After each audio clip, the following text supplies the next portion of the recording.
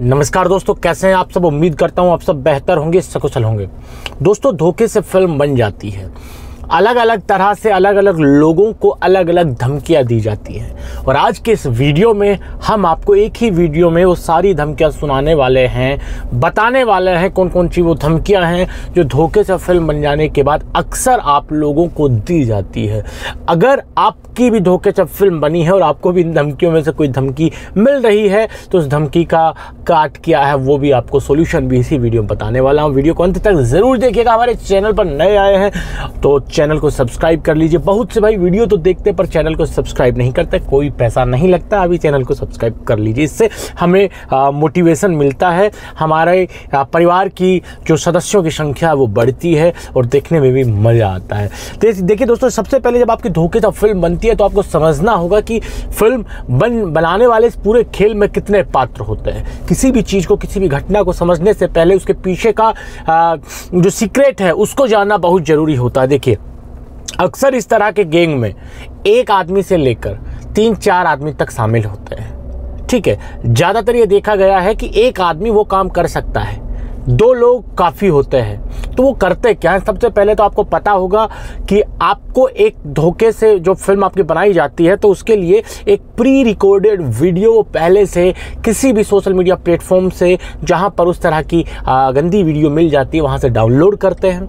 Download करने के बाद आपको एक मोबाइल में प्ले करके एक दूसरे मोबाइल से आपके पास व्हाट्सअप वीडियो कॉल किया जाता है और बैक कैमरा से मोबाइल को स्टेबल करके आपको दिखा दिया जाता है। वो प्री रिकॉर्डेड वीडियो होती है, जो आपको दिखाई जाती है। कोई रियल में लड़की नहीं होती 98 परसेंट मामलों में लड़की नहीं होती। हाँ दो परसेंट मामलों में कुछ जगह देखा गया है, नोएडा में, गुड़गांव में, जहाँ पर रियल लड़की को दिखाकर भी लोगों की गंदी फ़िल्म रिकॉर्ड की जाती थी और बाद में उनको ब्लैकमेल किया जाता था।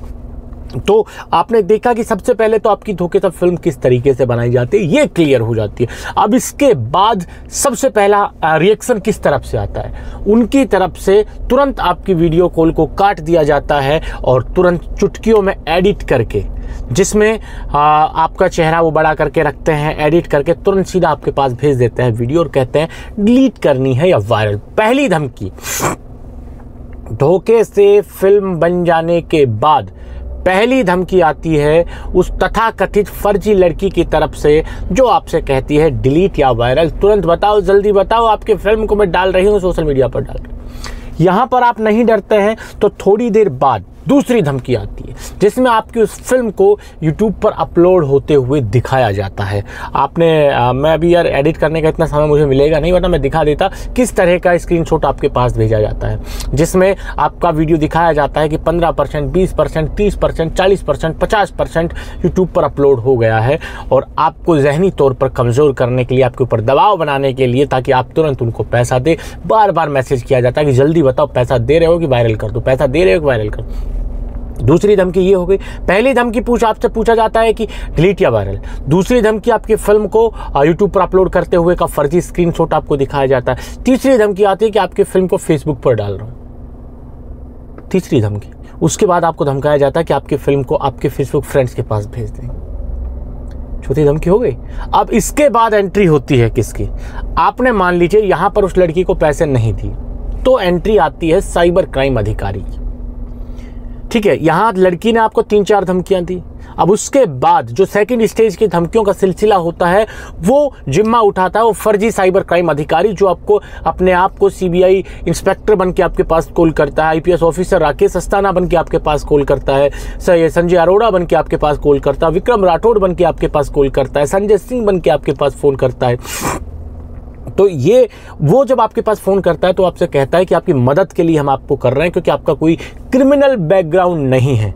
एक लड़की ने आपकी फ़िल्म को सोशल मीडिया साइट्स पर अपलोड किया है, जो कि इलीगल है। इसीलिए हम आपको एक नंबर प्रोवाइड करवाएँगे, उस नंबर पे बात करना। और उस नंबर, सोशल मीडिया मैनेजर का नंबर आपको देंगे, उससे बात करके अपनी फ़िल्म को डिलीट करवा अब वो धमकी क्या देते हैं, सुनिए। वो आपसे कहते हैं कि आपकी ज़िंदगी बर्बाद कर देंगे। चौबीस घंटे में आपको अरेस्ट कर लेंगे। आपके नियर बाई थाने की पुलिस आपके घर पे आएगी। हम आपके घर पे आएँगे, आपको घसीटते हुए थाने लेके जाएँगे। आपकी ज़िंदगी ख़राब कर देंगे। आपकी पूरी फैमिली को घसीटते हुए थाने लेकर जाएँगे। आपके खिलाफ चार्जशीट कोर्ट में पेश कर रहे हैं। फ़ाइल आपकी आगे बढ़ा रहे हैं। उसके बाद हम कुछ नहीं कर पाएँगे। तो जल्दी से आप अपनी वीडियो को डिलीट करवाइए और डिलीट करवा के डिलीटेड मेल हमारे पास भिजवाइए ये उनका सवाल मतलब ये धमकियाँ उनकी तरफ़ से दी जाती हैं। अब इनसे बचने के लिए वो आपसे कहते क्या हैं कि हम आपको एक नंबर देते हैं, जो सोशल मीडिया मैनेजर का नंबर है, संजय सिंह का, हेमंत शर्मा का, इस तरह के कुछ नाम होते हैं अलग अलग उनसे आप बात करिए, बात करके अपनी फ़िल्म को डिलीट कराइए। जब आप वहाँ उस नंबर पर फ़ोन करते हैं तो वहाँ से आपको क्या धमकियाँ मिलती है? वहाँ से आपको धमकियाँ मिलती हैं कि, सर, देखिए, आपको इतना पैसा देना पड़ेगा इस फ़िल्म को यहाँ से हटाने के लिए क्योंकि ये गवर्नमेंट चार्ज है। मान लीजिए आपसे कहा जाएगा कि दस हज़ार पाँच सौ अठहत्तर रुपये आपको देने राउंड फिगर में भी नहीं बताते वो ऐसी एक, ऐसे ही कोई रैंडम उठा के एक नंबर आपके सामने फेंक देते हैं कि दस हज़ार पाँच सौ अठहत्तर आप रुपये दीजिए, जिसमें से पाँच सौ अठहत्तर काट के दस हज़ार रुपये आपको रिफंड मिल जाएगा और आपका जो डिलीटेड वीडियो का मेल है, वो आपके मेल पर व्हाट्सएप पर हम भेज देंगे। ठीक है। अब ऐसा अगर नहीं करते हैं, फिर वो कहते हैं कि सर नहीं कर पाएँगे। आपको धमकी देते हैं पैसा भेजने की। जो नंबर आपको तथाकथित साइबर क्राइम अधिकारी ने दिया है, उस पर जब आप फ़ोन करते हैं तो यूट्यूब वाले आपसे यही कहते हैं, अक्सर कि आपकी फ़िल्म है। फिर आप एक बार डाल देंगे, फिर आप कहेंगे कि, सर, मेरा रिफंड कर दिए दस हज़ार रुपये मैंने डाल दिए पैसे। तो कहते हैं नहीं सर, दो वीडियो अपलोड थी। तो आपको एक अमाउंट और पे करना पड़ेगा, फिर दोनों का एक साथ होगा। इस तरीके से अपने को जाल में फंसाता है। जब आप नहीं करते हैं तो कहते हैं, ठीक है सर, आप पैसा मत दीजिए, हम आपकी फ़ाइल को साइबर क्राइम अधिकारियों के पास भेज रहे हैं वीडियो आपकी अपलोड हो जाएगी, फिर उसके बाद हमसे मत कहिएगा। तो उनकी तरफ़ से ये धमकियाँ दी जाती है। अब इसके बाद कई मामलों में जो मोटा अमाउंट पे कर चुके होते हैं, जिन लोगों ने तीनों स्टेज पर पैसे दे दिए, लड़की की धमकियों पे पैसे दे दिए ठीक है, सबसे पहले लड़की धमकियाँ देती है, फिर उसके बाद साइबर क्राइम के अधिकारी धमकी देते हैं, फिर आपके सोशल मीडिया मैनेजर जो यूट्यूब वाले होते हैं, तथाकथित, ये आपको धमकियाँ देते हैं। अब तीन ही तीनों स्टेज पर बहुत से लोग ऐसे जो लाखों रुपए दे चुके होते हैं। अब उनको पता है कि ये मुर्गी भाई साहब सोने नहीं, हीरे के अंडे दे रही तो इससे और पैसा कैसे कमाया जाए? जो ठगी होती है ना दो लाख तीन लाख चार लाख पाँच लाख दस लाख पंद्रह लाख बीस लाख पचास लाख साठ लाख सत्तर लाख अस्सी लाख। इतने लाख रुपए की जो ठगी होती है उसमें चौथा एंगल और आता है धमकी का। तीन एंगल तो सामान्य होते हैं। पहले एंगल में लड़की धमकी दे रही है दूसरे एंगल में तथाकथित साइबर क्राइम के अधिकारी धमकी दे रहे हैं ती, और तीसरे एंगल में जो यूट्यूब मैनेजर है जो तथाकथित यूट्यूब वाले हैं वो आपको धमकी दे अब चौथा एंगल जब ज़्यादा अमाउंट लोग देने लग जाते हैं तो उनको और ज़्यादा उनसे अमाउंट ठगने के लिए चौथा एंगल आता है दोबारा से साइबर क्राइम वालों का। कि अब हम कुछ नहीं कर सकते हैं। लड़की ने गलत कदम उठा लिया। लड़की इस दुनिया में नहीं रही। उसकी जो वीडियो थी वो वायरल हो गई। अब लड़की ने गलत कदम उठा लिया। अब आपका नाम उसमें सीधा आ रहा है। आपके ऊपर मर्डर के चार्जेस लगेंगे। अब ये सुन के सामने वाला हिल जाता है। यार, भाई साहब, कोई छोटी बात है क्या ये? कोई भी हिल जाएगा। नेचुरल सी बात है, इंसान है, डर के मारे, रूह काँप जाती है ऐसे मामलों की। बात सुनते ही। तब वो पैसा देना शुरू वो कहते हैं सर, अभी तो जो फ़ाइल है ना, वो निचले स्तर पर है। अभी आपका नाम इसमें से हम निकाल देंगे, और भी लड़के थे, उनका नाम डाल देंगे। तो ऐसी स्थिति में वो और पैसा देते हैं। तो ये पूरा फंडा चलता है। चार स्टेज में धमकियाँ मिलती हैं, चार स्टेज में। ज़्यादातर मामलों में तीन स्टेज में धमकियाँ मिलती हैं। वो मैंने आपको बताया कौन क्या क्या धमकियाँ देता है। लड़की देती है सबसे पहले तीन चार तरह की धमकियाँ। लड़की धमकी देती है सबसे पहले की, सबसे पहले उसका तो क्वेश्चन यही होता है, डिलीट या वायरल, वीडियो बन जाने के बाद। फिर कहेगी यूट्यूब पे अपलोड हो रहा है देखिए। फिर कहेगी फेसबुक पे अपलोड हो रहा है देखिए। फिर कहेगी फेसबुक फ्रेंड्स के पास भेज देंगे देखिए। ठीक है? फिर कहेगी आपकी वीडियो को हम आ, मतलब आपके खिलाफ कंप्लेंट फ़ाइल कर देंगे। अब तीसरी जो दूसरे स्टेज में आ जाता था कथित साइबर क्राइम उनकी तो धमकियाँ कम और डराना ज़्यादा होता है। वो कहते हैं कि आपको शुरू में तो प्यार से बात करेंगे कि हम आपकी साइड लेने के लिए फ़ोन कर रहे हैं आपको बचाने के लिए फ़ोन कर रहे हैं। जैसे ही आप थोड़ा सा उनसे क्रॉस क्वेश्चनिंग करेंगे, वो शुरू कर देंगे, घर से उठा कर लाएँगे, चौबीस घंटे में अरेस्ट कर लेंगे, आपको गिरफ़्तार करने के लिए टीम हमने यहाँ से निकाल दी, आपके लोकल थाने को इन्फॉर्म कर दिया, पुलिस पहुँच जाएगी, दो घंटे वेट कीजिए वेट कीजिए, अभी बताते हैं। घसीटते हुए लाएँगे, पूरे खानदान को घसीटते हुए लाएँगे कोर्ट में चालान पेश कर दिया, आपकी फ़ाइल को आगे बढ़ा दिया, ये सेकेंड स्टेज पर मिलती है।